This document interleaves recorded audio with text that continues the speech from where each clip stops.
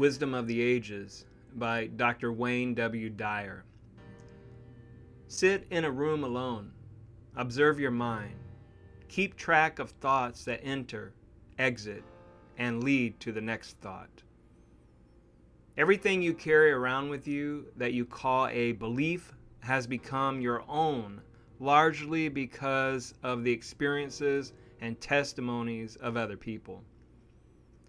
Patience is a key ingredient in the process of the natural world and in our personal world. Great things have no fear of time. Impatience breeds fear, stress, and discouragement. Patience manifests in confidence, decisiveness, and a feeling of peaceful satisfaction. Think of what you are doing in increments of five centuries rather than five minutes. When you are in a centered state of purpose, you activate forces in the universe that were previously out of your range. What you need will show up. The right person will be there on time. The phone call will come. The missing pieces will be brought to you. It makes no sense to worry about the things you have no control over. Ask yourself can I do anything about this? If it is out of your control, let it go. If there is anything you can do, shift gears and work on a strategy. Anytime you confront a problem that you feel is impossible to solve, remind yourself that this is nothing more than a solution waiting to happen. If you can't see the solution, begin the process of investigating who can. Remove impossible from your vocabulary entirely. The invisible being living within us has no boundaries or form, no beginning or end. This invisible being is ageless. It's the eternal child in each of us. Heaven is not a place with borders, perimeters, edges, and precincts. God is everywhere. There is no place that God is not. And this includes you. When you are eating, you are ingesting God and replenishing God. When you sleep, you breathe in God and allow God to rest. God is in you, with you, behind you, before you, all around you, and can be felt everywhere. It is our opinions of things and not the things themselves that cause the disturbances in our lives. You don't have to change what you see, only the way you see it. Enlightenment won't set you free. You become freedom itself. One of life's greatest illusion is the belief that the past is responsible for our current lives. The past is over. It is not subject to rewind or recall. Live today. Let go of all your attachments to the past. You are the product of the choices you are making right now, not of what you did back then. Circumstances do not make a man, they reveal him. Detach from the outcome, be in the moment. Enjoy your activities for the sheer joy of the action rather than how they will turn out.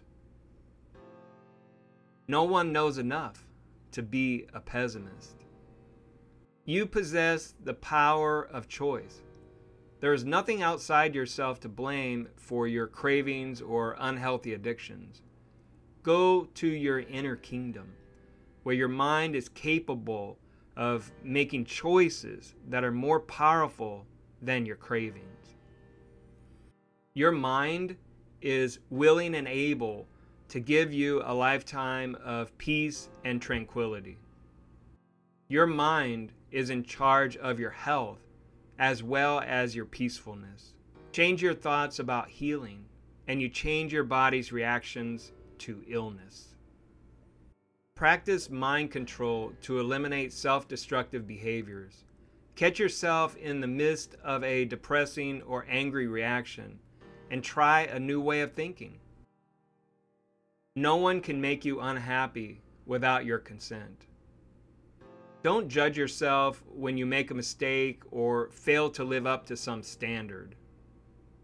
Seeing ourselves as islands that are not part of the whole is the cause of our inability to find the highest, the fullest, and the richest experience in life. Imagine a wave or a drop of water considering itself separate from the ocean. It is weak when it is not part of the ocean. Learn to live unseen and unknown, free of the need to be noticed. Take time out of your day for periods of solitude. Be silent. Quiet the loud noises in your life. Practice giving anonymously to anyone in need, not asking for praise. Live your life as if this were the only day of your life. The answer to consistent creativity is to begin it, and then the work will be completed. You must move to begin the implementation of your inspiration.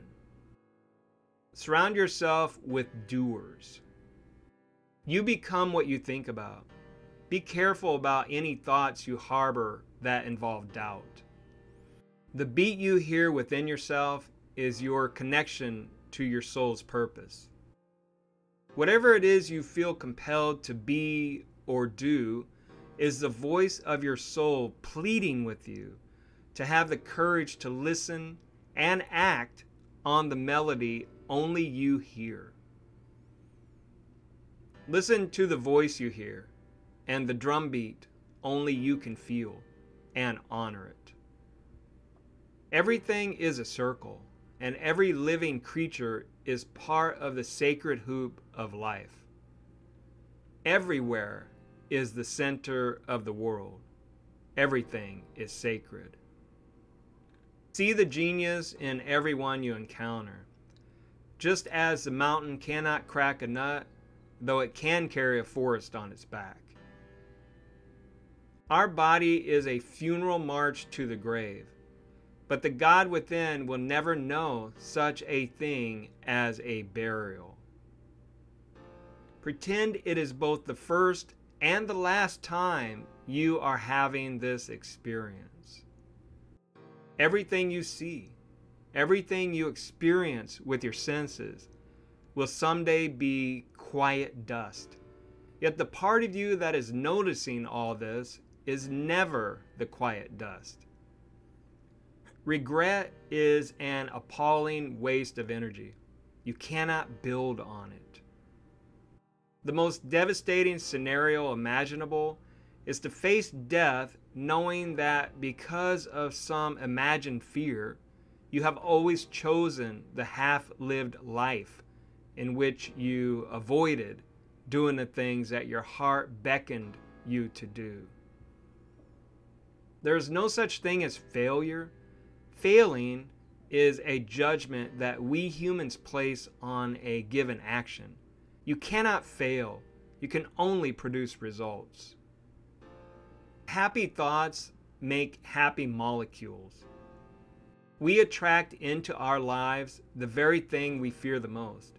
We attract to ourselves that which repels us. The process of forming a picture in our minds is referred to as visualization. There is an invisible vibratory field of energy surrounding all living objects. Your field of energy radiates at whatever vibratory frequency you generate. Our thoughts, that invisible part of our humanity, determine everything about our physical, visible self, which is the major chunk of our earthly existence. Begin to see yourself as a soul with a body rather than a body with a soul. Where do things come from? Particles are not responsible for their own creation. The world of the seen comes from the world of the unseen. Thank you for watching.